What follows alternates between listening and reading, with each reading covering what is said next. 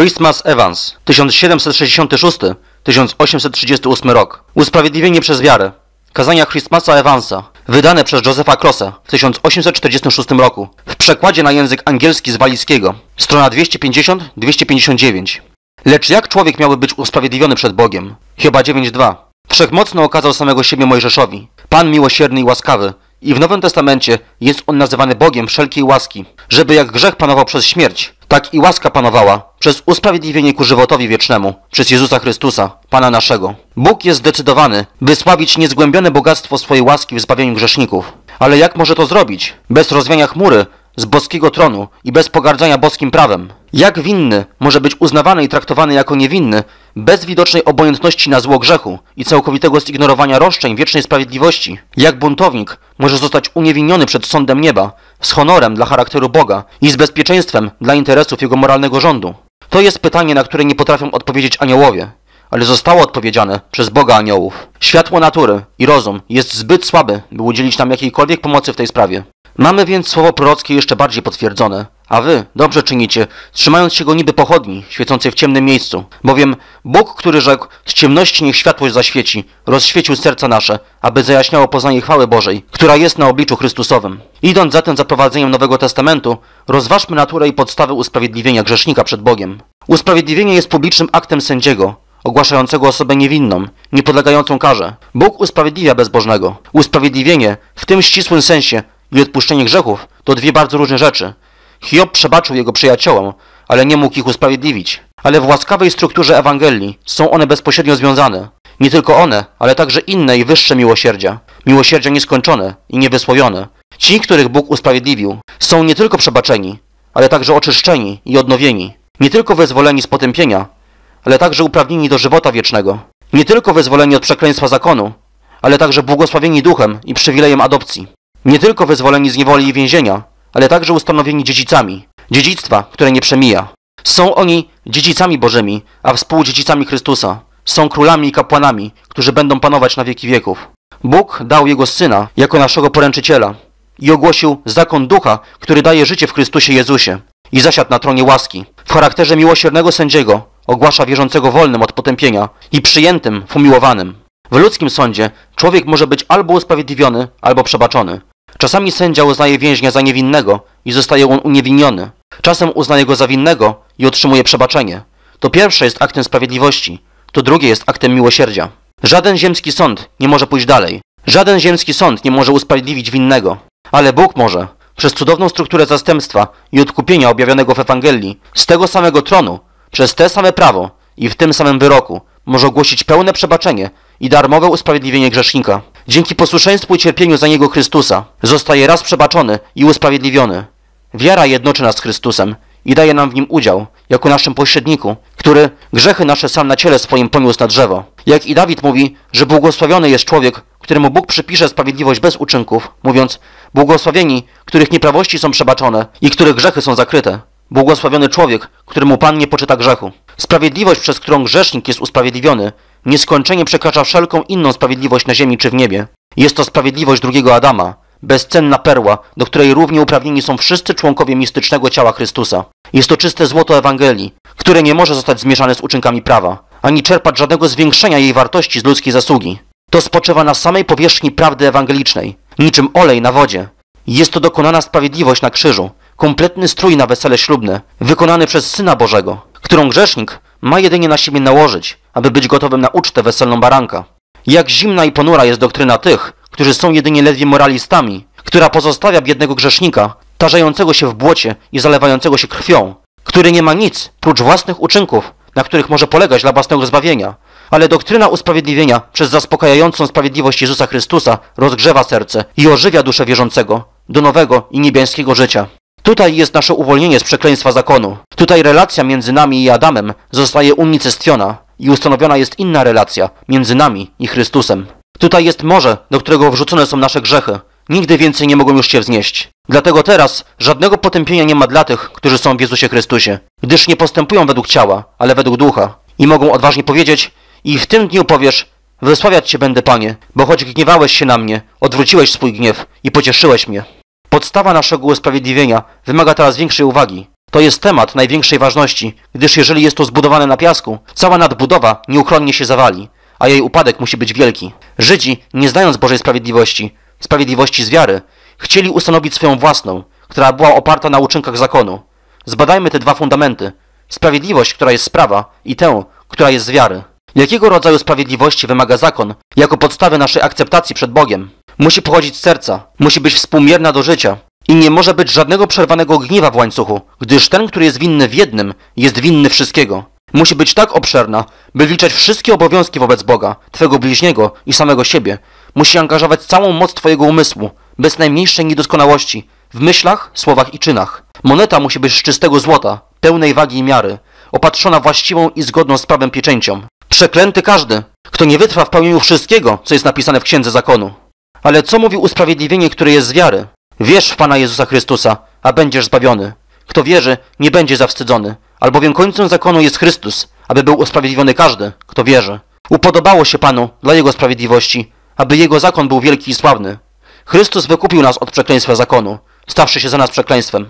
To jest doktryna, która odpowiada na nasze wszystkie pytania, usuwa wszelki strach naszej winy i otwiera nam drogę nadziei w dolinie cienia śmierci. Usprawiedliwiająca sprawiedliwość Chrystusa jest głęboka jak nędza człowieka i tak wysoka jak wymagania Boga, tak szeroka jak przykazanie i tak długa jak wieczność. Jest ona wystarczająca dla wszystkich tych, którzy wierzą i zdolna zbawić do końca. Jest to potop, który zakrywa góry przewinień i wznosi wierzącego bezpiecznie w arce. Przychodzi do grzesznika, zamkniętego na Boży Sąd i odczytuje mu artykuł jego wyzwolenia. Słyszę, jak adresuje to winnego w następujących słowach. Widziałem Syna Bożego, wychodzącego z łona Ojca i łączącego się z naturą człowieka. Widziałem potężnego Boga, objawionego w Synu Marii, leżącego w żłobie. Widziałem, jak jego krew została przelana jako zadatek zakonu, gdy miał osiem dni. Stałem w ogrodzie Getsemane, gdy pił z kielicha wymieszanego drżenia, ukazanego przez sprawiedliwość jego ojca. Byłem z nim na Kalwarii, gdy wymazał on pismo Edenu i Synaju i przybił je do krzyża, gdy dokonał odkupienia człowieka i pokonał moce ciemności i zapieczętował jego własną krwią przymierze pokoju. Widziałem go, stępującego w niższe części ziemi i leżącego pod wyrokiem grzesznika w grobie. Widziałem go, powstającego w tej samej ludzkiej naturze, z kluczem śmierci i piekła w jego dłoni i koronie pośredniego królestwa na jego głowie. Widziałem go, wstępującego do prawicy Ojca, wyprowadzającego na wolność więźniów i wkraczającego do samego nieba, ukazując się tam za Ciebie w obecności Boga. I teraz widzę go pośrodku tronu, jako nowo zabitego baranka, a zasługa jego ofiary napełnia miłą wonią niebiosa niebios. W Twoim imieniu uhonorował on prawo, zaspokoił jego roszczenia sprawiedliwości i otworzył nową i żywą drogę, przez którą Bóg może być sprawiedliwym i usprawiedliwiającym tego, który wierzy w Jezusa. W taki sposób pada odpowiedź na pytanie, jak człowiek miałby być usprawiedliwiony przed Bogiem. Grzesznicy są usprawiedliwieni darmo, z łaski Jego, przez odkupienie w Chrystusie Jezusie. Tak więc twierdzimy, że człowiek zostaje usprawiedliwiony przez wiarę, bez uczynków zakonu. To jest kamień węgielny Ewangelii, to siła łuku zbawienia. Jedynym sposobem na uzyskanie akceptacji u Boga jest przez łaskę, a jeżeli przez łaskę, to już dłużej nie z uczynków. W usprawiedliwieniu grzesznika boska łaska i ludzkie uczynki nie mogą być zmieszane razem bardziej od oleju z wodą, gdyż należą do innych przymierzy. Chrystus przyszedł na świat nie po to, by naprawić stare przymierze, ale po to, by być pośrednikiem nowego przymierza, ustanowionego na lepszych obietnicach. Nie po to, by naprawić nieszczelne i tonące naczynia zakonu, ale by zbudować i wypuścić nową arkę zbawienia i uratować rozbitków i tonących. Zakon nie mógł zbawić. Zakon jest święty, ale my jesteśmy nieczyści. Zakon jest duchowy, ale my jesteśmy cieleśni. Zakon jest sprawiedliwy, ale my jesteśmy winni. Zakon jest dobry, ale każde wyobrażenie myśli serca człowieka jest złe i tylko złe. I tak jest nieustannie. Zakon nie zgodzi się na kompromis z grzesznikiem, nie złagodzi wobec niego swoich roszczeń, ani w żaden sposób nie dostosuje się do jego upadłego stanu. Jego moc do potępienia jest współmierna z jego autorytetem władzy. Zatem widzimy, jak to jest, że żaden człowiek nie może być usprawiedliwiony przez uczynki zakonu. Nie jesteśmy pod zakonem, ale pod łaską.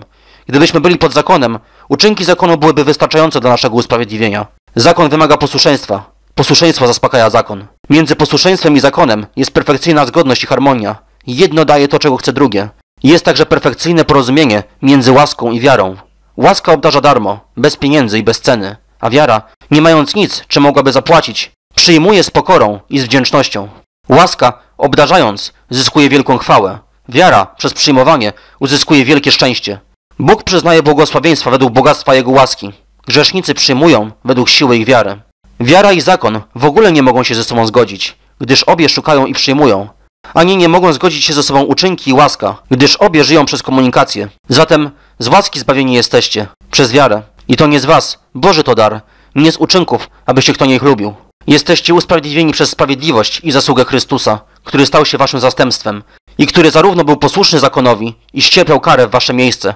Ten pogląd podstawy usprawiedliwienia grzesznika jest podtrzymywany wszędzie w Świętym Piśmie. Przez posłuszeństwo jednego wielu dostąpi usprawiedliwienia. Przez sprawiedliwość jednego na wszystkich ludzi spłynął dar ku usprawiedliwieniu, dającemu życie. Posłuszeństwo jednego i sprawiedliwość jednego w tych dwóch zdaniach wyraża tę samą rzecz. Ponownie, on tego, który nie znał grzechu, za nas grzechem uczynił, abyśmy w nim stali się sprawiedliwością Bożą, w którym mamy odkupienie przez Jego krew, przebaczenie grzechów według bogactwa Jego łaski. Wszyscy jak owce zbłądziliśmy. Każdy z nas na własną drogę zboczył, a Pan Jego dotknął karą za winę nas wszystkich. Lecz On był zraniony za nasze występki, starty za nasze nieprawości. Kara dla naszego pokoju była na Nim, a Jego ranami zostaliśmy uzdrowieni. Perfekcyjne posłuszeństwo Chrystusa i Jego chwalebna śmierć były obie konieczne jako podstawy usprawiedliwienia grzesznika. Żadna nie byłaby wystarczająca bez drugiej. Jego posłuszeństwo nie dawałoby odpowiedzi bez jego śmierci, gdyż zakon, który został złamany, musi być uszanowany. I kara, którą poniesie grzesznik, musi być poniesiona przez tego, który jest zastępcą. Ani jego śmierć nie byłaby odpowiedzią bez jego posłuszeństwa, gdyż to tego, który jest posłuszny, a nie ten, kto jest ukarany, jest tym, którego prawo usprawiedliwia. Ten, który zachowuje przepis, a nie ten, który jest karany.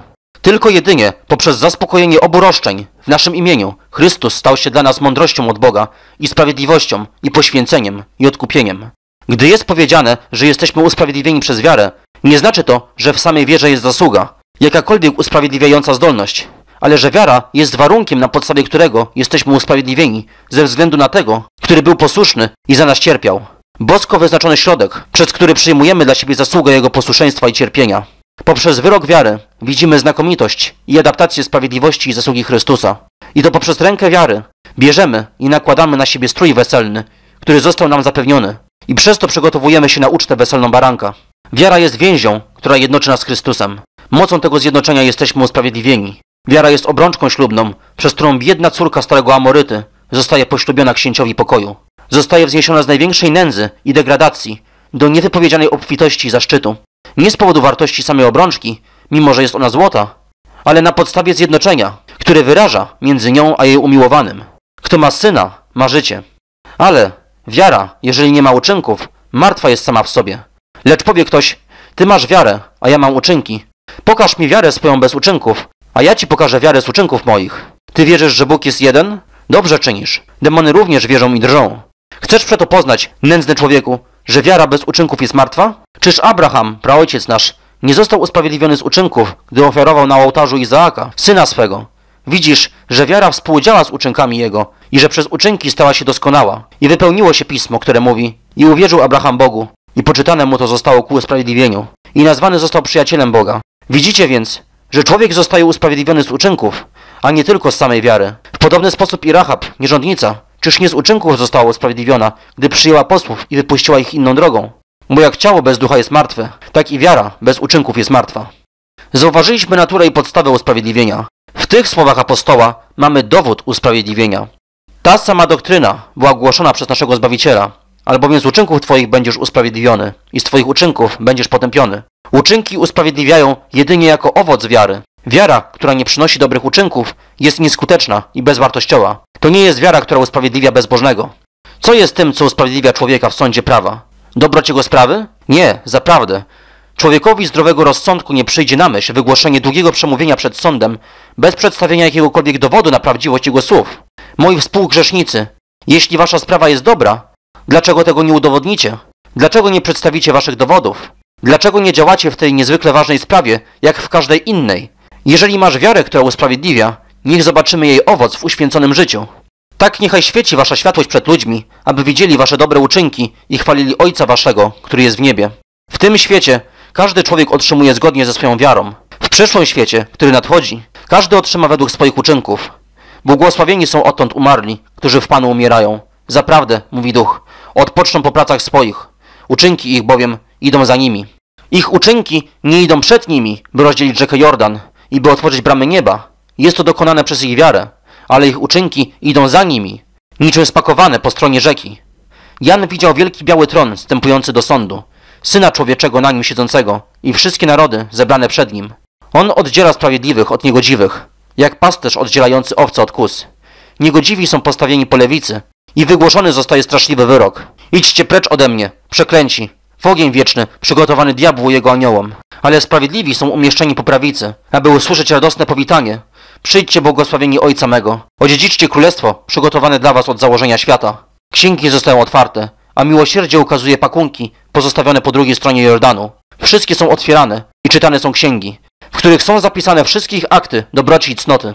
Sprawiedliwość bada kilka pakunków i odpowiada, dobrze, oto one, tak jak było napisane. Byłem głodny, a daliście mi jeść. Byłem spragniony, a daliście mi pić. Byłem przybyszem, a przyjęliście mnie. Byłem nagi, a przyodzialiście mnie. Byłem chory, a odzialiście mnie. Byłem w więzieniu, a wy przyszliście do mnie. Sprawiedliwi patrzą na siebie ze zdumieniem i odpowiadają, te pakunki muszą należeć do innych. My nic o tym nie wiemy. Wspominamy piołun i żółć. Przypominamy sobie ciasną bramę, wąską drogę i bagno rozpaczy.